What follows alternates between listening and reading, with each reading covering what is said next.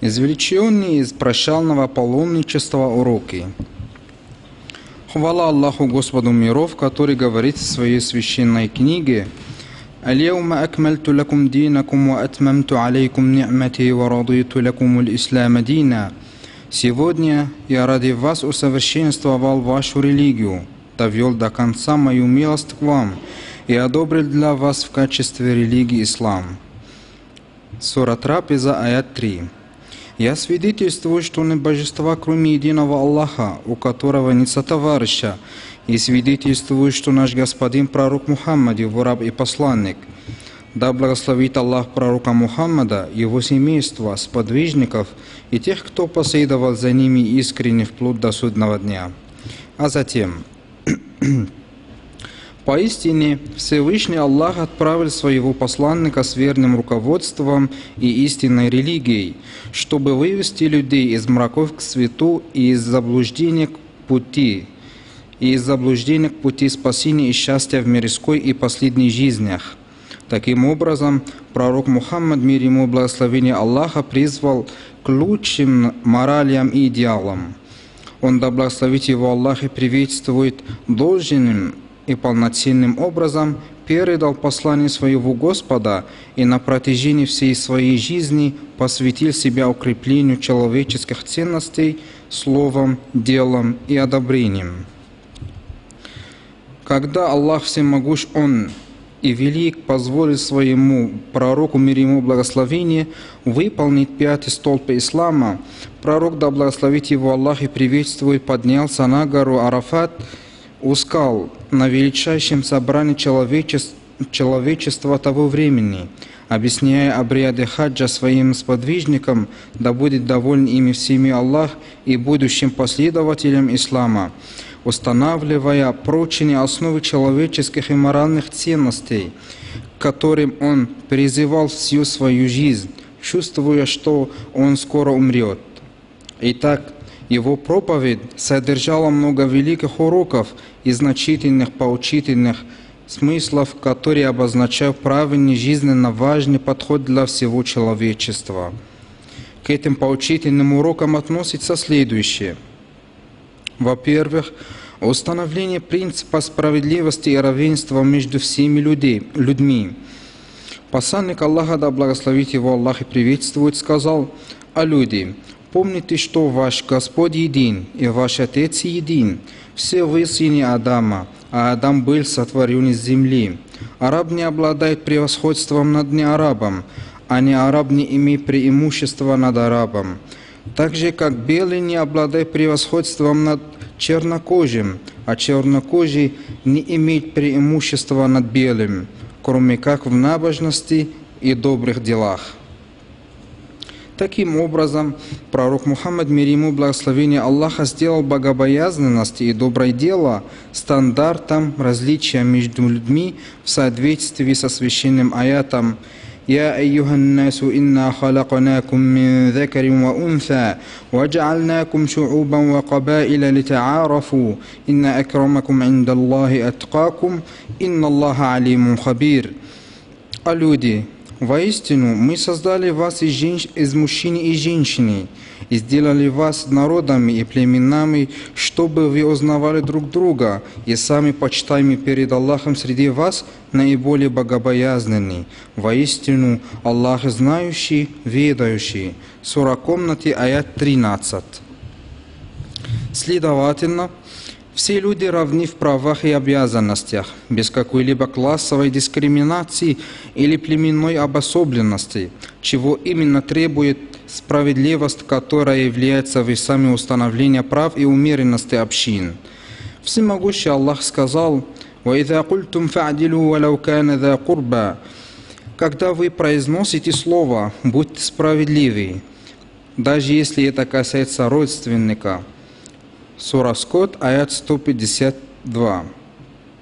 وإذا حكمتم بين الناس أن تحكموا بالعدل и судит по справедливости, когда вы судите среди людей. Сура женщины, аят 58. ولا يجرمنكم شنآن قوم على ألا تعدلوا اعدلوا هو أقرب للتقوى и пусть ненависть людей не подтолкнет вас к несправедливости. Будьте справедливы, ибо это ближе к богобоязненности. Сура Трапеза, аят 8. Во-вторых, святость крови, имущества и чести. Сообщается со слов Абу Абдуррахмана ибн Аби Бакра, да будет доволен им Аллах от своего отца, Пророк, да благословит его Аллах и приветствует сильно своего верблюда, которого держал за повод один человек, а потом спросил, что это за день? Мы промолчали, так как подумали, что он назовет его как-нибудь по-другому. Но он сказал, разве это не день жертвоприношения? Мы сказали «да». Затем он спросил, а что это за, за месяц? Мы снова промолчали, так как подумали, что он назовет его как-нибудь по-другому. Но он, наз... но он сказал, разве это не Дульхиджа? Мы сказали «да». Тогда он э, сказал, поистине, взаимоотношения между вами – должны быть такими, чтобы ваша кровь, ваше имущество и ваша честь являлись для вас столь же священными, сколь священными является этот ваш день в этом вашем месяце, в этом вашем городе. Пусть и присутствующий известит об этом отсутствующего, но поистине может получиться и так, что присутствующий известит того, кто усвоит это лучше него самого.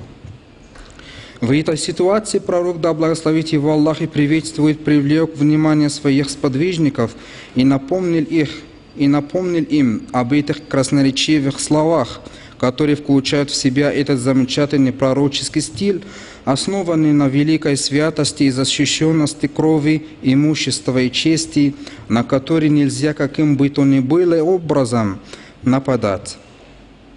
Ведь ислам призывает к миру и безопасности и желает, чтобы все люди жили стабильной жизнью, без каких-либо различий или дискриминации по признаку пола, цвета кожи или вероисповедания, потому что исламский шариат гарантирует это каждому человеку. Всевышний Аллах сказал, ولا تقتلوا النفس التي حرم الله إلا بالحق ذلكم وصاكم به لعلكم تعقلون Не убивайте душу, которую Аллах запретил убивать, если только у вас нет на это права. Это заповедал вам Аллах, быть может, вы уразумеете. Сура Скот, аят 151. При этом Всевышний уподобляет убийство одной души, вопреки запрету Аллаха, убийству всего человечества. Аллах, слава Ему величие, говорит – من قتل نفسا بغير نفس أو فساد في الأرض فكأنما قتل الناس جميعا ومن أحياها فكأنما أحيا الناس جميعا Кто убьет человека не за убийство или распространение нечестия на земле, тот словно убил всех людей, а кто сохранит жизнь человеку, тот словно сохранит жизнь всем людям. Сура Трапеза, аят 32 Подтверждение святости крови пророк, да благословит его Аллах и приветствует, еще раз предупреждает в этой проповеди от преступления, касающегося кровопролития. Посланник Аллаха, да благословит его Аллах и приветствует, сказал, «Не становитесь после меня, то есть после моей смерти, неверными, которые рубят друг другу головы». Так же, как ислам запрещает агрессию в отношении души, он запрещает все формы посягательства на имущество. Всевышний Аллах сказал, يا أيها الذين آمنوا لا تأكلوا أموالكم بينكم بالباطل إلا أن تكون تجارة عن تراض منكم А те, которые уверовали, не пожирайте своего имущества между собой незаконно, а только путем торговли по обоюдному вашему согласию. Сура женщины, аят 29. ولا تأكلوا أموالكم بينكم بالباطل وتدلوا بها إلى الحكام لتأكلوا فريقا من أموال الناس بالإثم وأنتم تعلمون Не пожирайте незаконно между собой своего имущества и не подкупайте судей, чтобы пожирать часть имущества людей, сознательно совершая грех. Сура Корова, аят 188. а также в целях сохранения всякого имущества, исламский шариат запретил кла- кражу и установил для вора сдерживающее наказание. Всемогущий Аллах приказывает والسارق والسارقة فاقطعوا أيديهما جزاء بما كسبا نكالا من الله والله عزيز حكيم Вору и воровке отсекайте руки в воздаяние за то, что они совершали. Таково наказание от Аллаха, ведь Аллах могущественный и мудрый. Сура Трапеза, аят 38. Исламский шариат также запретил любую форму захвата земли. Посланник Аллаха, да благословит его Аллах и приветствует, сказал, «Вокруг шеи того, кто захватит даже пять земли, без права будет обвита собранной с семи земель». Ислам также запрещает любую форму нарушения чести или клеветы без какого-либо различия между мусульманином и немусульманином. Запрещая прелюбодеяние, Всевышний Аллах говорит, «Валя тaqarabu зина иннаху кана фахишатан васаа сабила». Не приближайтесь к прелюбодеянию, ибо оно является мерзостью и скверным путем. Сура перенес ночью, аят 32. Более этого, пророк, да благословит его Аллах и приветствует, запрещает обвинение в, прелюбодеянии целомудренных женщин и считает его из больших губительных грехов. Посланник Аллаха, да благословит его Аллах и приветствует, сказал, «Остерегайтесь семи больших грехов». Его спросили, каких, а посланник Аллаха? Он ответил, поклонение другим наряду с Аллахом, колдовство, убийство человека, которого Аллах запретил убивать, иначе как по праву, ростовчество, проедание имущества сироты, отступление в день наступления и обвинение в прелюбодеянии целомудренных верующих женщин, даже не помышляющих об, о подобном. Пророк, да благословит его Аллах и приветствует, запретил оскорблять и ругать в целом, и назвал это безнравственностью. О мире ему благословение Аллаха сказал, поношение мусульманина есть проявление нечестия, а сражение с ним свидетельство неверия. В-третьих, призыв к единству и предупреждение от раздора, конфликтов и раскола – Посланник Аллаха, да благословит его Аллах и приветствует в своей проповеди, сказал, «Поистине, шайтан потерял надежду на то, что будет ему поклоняться на вашей земле. Однако он будет доволен, если ему будет подчиняться помимо этого в тех ваших деяниях, которыми вы будете пренебрегать. Так остерегайтесь же этого». Итак, давайте объединим, объединяться – крепко держаться за верфь Аллаха все вместе и не разделяться. Всевышний Аллах нам повелел «Ва'тасиму бихабилиллахи джами'ан ва ла тафарраку» Крепко держитесь за верфь Аллаха все вместе и не распадайтесь.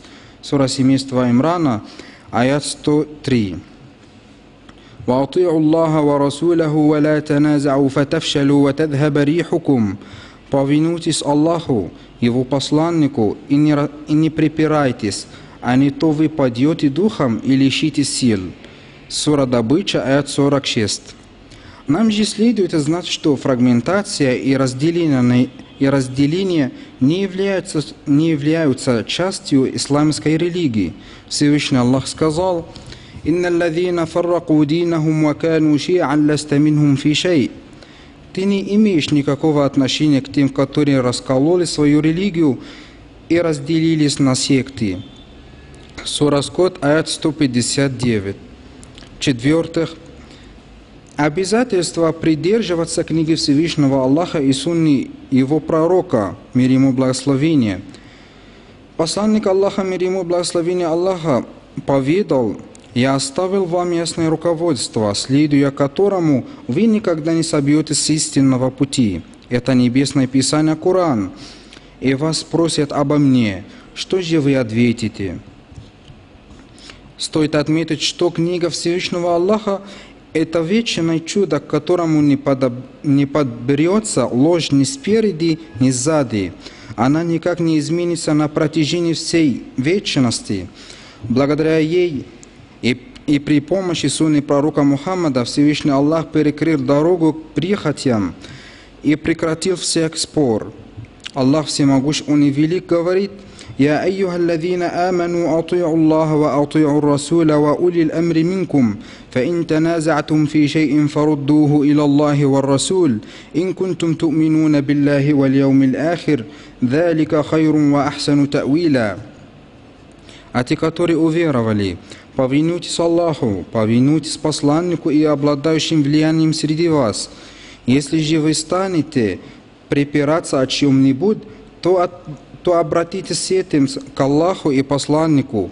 Если вы веруете в Аллаха и в последний день, так будет лучше и прекраснее по значению. Сура женщины, ая 59. Кроме этого, приверженность Корану и Сунне пророка, мир ему благословение Аллаха, представляют собой признак веры и доказательства богобоязненности. Всевышний Аллах сказал, فلا وربك لا يؤمنون حتى يحكموك فيما شجر بينهم ثم لا يجدوا في أنفسهم حرجا مما قضيت ويسلموا تسليما Но нет, клянусь твоим Господом, они не уверуют, пока они не изберут тебя судьей во всем том, что запутано между ними, не перестанут испытывать в душе стеснение от твоего решения и не подчиняться полностью. Сура женщины, аят 65. Вот что я хотел бы сказать. Я прошу Аллаха прощения для меня и для вас. Хвала Аллаху Господу миров, мир и благословения Господину всех людей, пророку Мухаммаду и его семье, сподвижникам и всем, кто последовал за ним вплоть до судного дня. О мои братья в исламе, нет ни сомнений в том, что прощальная проповедь является первым документом и первой универсальной декларацией о защите прав человека, поскольку она содержит человеческие ценности, которые сохраняют достоинство человека и обеспечивают его безопасность и целостность. Один из самых важных уроков, извлеченных из прощальной проповеди, проявление видного места и высокого положения женщин в исламском шариате. Так, Пророк, да благословит его Аллах и приветствует, настоятельно призвал соблюдать прав женщин и быть добрыми по отношению к ним, ибо женщины подобны мужчинам, а права и обязанности взаимны между ними. Пророк Мухаммад, мир ему благословение Аллаха, поведал, Поистине, есть у вас права на ваших жен, у ваших жен есть права на вас. Ислам проявил почтение и глубокое уважение к женщинам, матерям, сестрам, дочерям и женам, а также присвоил их такие права, которые гарантируют им счастье так как в мирской, так и в последней жизни, защищают их и сохраняют для них человеческое достоинство. Сообщается, что как-то один человек пришел к посланнику Аллаха, мир ему благословение Аллаха, и спросил, «О посланник Аллаха, кто из людей, кто из людей более всего достоин того, чтобы я с ним хорошо обходился?» Пророк ответил, «Твоя мать». Он спросил, «А кто потом?» Пророк ответил, «Твоя мать». Он спросил, «А кто потом?» Пророк сказал, «Твоя мать». Человек снова спросил, а кто потом? Тогда пророк, мир ему благословение Аллаха, сказал, твой отец. Посланник Аллаха, да благословит его Аллах и приветствует, также говорит, если человек, у которого есть три дочери, проявил терпение в их воспитании, угошал их, поил, одевал, исходя из своей возможностей, эти дочери для него будут защитой от ада в судный день. А в другой версии говорится, тот, кто будет содержать двух или троих дочерей, двух или троих сестер, пока одна из них не будет нуждаться в его заботе, или же пока он не покинет их по причине своей смерти, то я и он будем в раю, подобно вот так. И указал на свой средний и указательный палец. От Абу Хурайри, да будет доволен им Аллах, передается, что посланник Божий, мир ему и благословение Аллаха, изрек, всегда обходитесь с женщинами хорошо, ведь поистине женщина сотворена из ребра, а наибольшей кривизной отличается его верхняя часть, И если ты попытаешься выпрямить ребро, то сломаешь его, а если оставишь его в покое, то оно так и останется кривым. Поэтому всегда обходитесь с женщинами хорошо. При этом слово «хорошо», о котором упоминается в данном хадисе, есть всеобъемлющее универсальное слово, что внушает необходимость крайне придерживаться мужественности, когда мужчины имеют дело с женщинами. Нам всем необходимо применять такие благородные ценности, которые приносят благо всему человечеству и действительно являются беспрецедентными в истории человечества. Прощальная проповедь заложила прочные основы прав человека и проследила главные человеческие этические ценности, благодаря которым бесспорно будет достигнуто счастье в мирской и в последних жизнях – если люди их пристально рассмотрят, поймут и применят. Господь наш, прими от нас, воистину Ты слышащий и знающий, и прими наше покаяние, воистину Ты принимающий покаяние милосерднее.